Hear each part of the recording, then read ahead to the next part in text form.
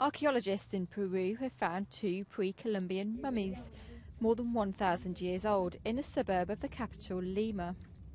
The researchers said the mummies of an adult and a child were intact.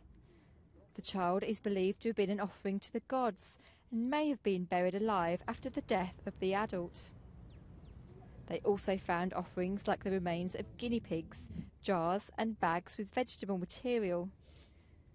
They were found at a religious site built by the Wari culture between 100 and 600 AD. Katie Hastings, BBC News.